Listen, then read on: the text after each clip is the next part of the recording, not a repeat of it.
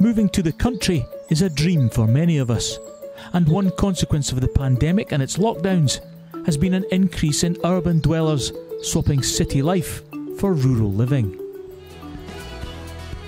One of those is Radio Scotland broadcaster Gary Innes. The musician and his family left the buzz of Glasgow for the quiet life in Argyll. Is all it's cracked up to be? After nearly 20 years in the city of Glasgow, my wife and I and our little daughters decided to move, leave the big smoke behind us and move up to Argyll Bute and to this gorgeous location called Taynuilt. Rural living isn't new to myself as I grew up in Spean Bridge in the Highlands, but there are some things about village life that I forgot how much I liked. Here we are now in the heart of the village. Across the way we have the post office, the butchers, the hairdressers. What more do you need? To be quite honest, I didn't think I was ready for village life again, but going for a pint of milk does not just take 10 seconds. You have to get a blether, and I love it. The village is just great, but my wife Hannah and I had no expectations that we'd ever be living here. In 2020, and with our first daughter, who was nine months old at the time, we just moved into a new house in Glasgow. We were all set for the next 20 years or so, but COVID 19 and lockdown made us see things completely differently.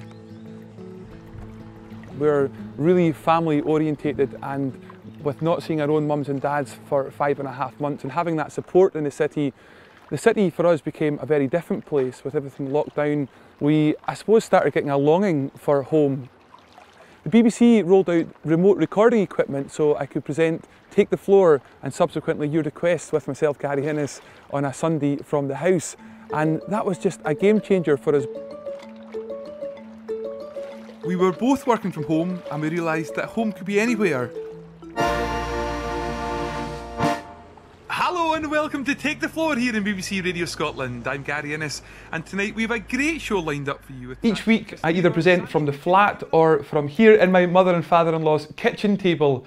I used to have to go into the studio twice a week for both programmes, but this tiny little microphone which hooks up to my mobile, set of headphones on and away we go live to the nation. So from me, Gary Innes, take care of yourself and each other. Until then, stay safe and cheerio! And I don't intend to be outstaying my welcome at my in-laws, as soon we'll be moving just up the road when this is finished.